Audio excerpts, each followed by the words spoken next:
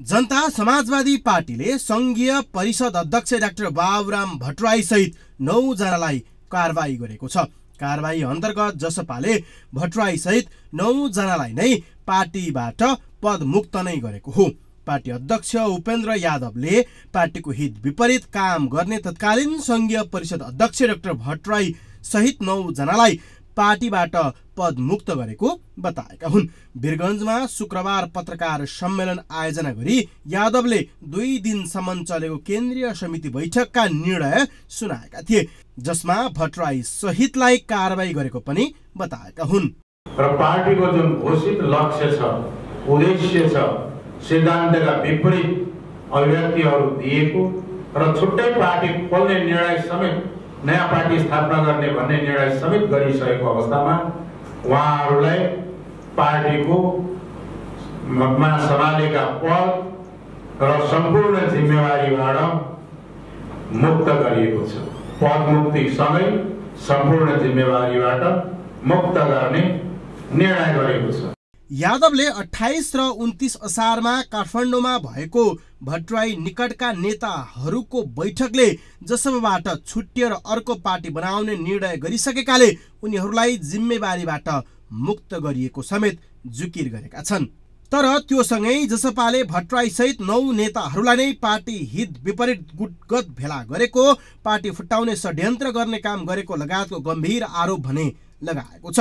अध्यक्ष यादवले doctor Baburam भट्टराईको party फुटाउने सपना चकनाचुर भएको पनि जुकिर गरेका छन्। जनता समाजवादी पार्टी फुटाउने र अर्को जनता समाजवादी पार्टी दर्ता गराउने या यसलाई फुटाएर अर्को दर्ता गराउने उहाँको सपना चकनाचुर भएको छ र त्यो गलत प्रयास असफल भएको छ।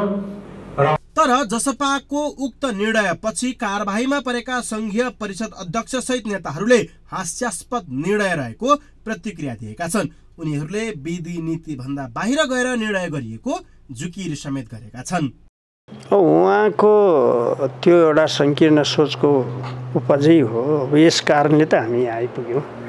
खास गरी भन्ने हो भने सङ्घीय परिषदको अध्यक्षलाई कारवाही गर्ने केन्द्रीय समितिमा अधिकारै छैन वैधानिक अवैध कुरा हो त्यो। उहाँले त्यो गर्नुभयो र आफ्नो चरित्र उदङ्ग उदाङ्गो बनाउनु भयो भन्ने मलाई लाग्छ। तथापि भट्टराई पक्षधरको रणनीति भने नयाँ पार्टी खोल्ने नै यस अघिदेखि नै रहेको र अब भने बाटो फराकिलो बनेको उनीहरूको दावी छ। भट्टराई नेतृत्वमा नयाँ पार्टी गठनको तयारी अन्तिम चरणमा पुगेको पनि उनीहरूले जुकिर गरेका छन्।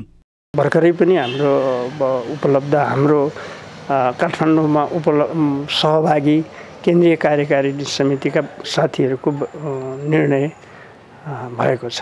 कहिलेसम्म यो घोषणा होला? आजैदेखि प्रक्रिया सुरु भएको छ र ती सके छिटो गर्ने विधान प्रतिवेदनहरू तयार गर्ने जिम्मा पनि सायद टुङ्गो लाग्छ। जसपाले भट्टराई लगायतलाई कारवाही सहित विधान पनि संशोधन गरेको छ। पार्टीले एकल अध्यक्ष रहने व्यवस्था पारित गरेको छ। यस अघि जसपामा दुई अध्यक्षको व्यवस्था रहेको थियो तर अब भने एक मात्र अध्यक्ष रहने व्यवस्था पारित गरेको हो। त्यस्तै अशोक राईलाई सङ्घीय परिषद अध्यक्ष बनाइएको छ। परिषद अध्यक्ष भट्टराईलाई कारवाही गरेपछि राईलाई परिषद अध्यक्ष बनाइएको हो। जसपा वीरगञ्ज बैठकले आगामी संसदीय निर्वाचनका लागि अध्यक्ष यादवको नेतृत्वमा संसदीय बोर्ड पनि गठन गरेको छ। वीरगञ्ज सहकर्मी आविद हुसेनका साथमा विकास आचार्य काठमाडौँ।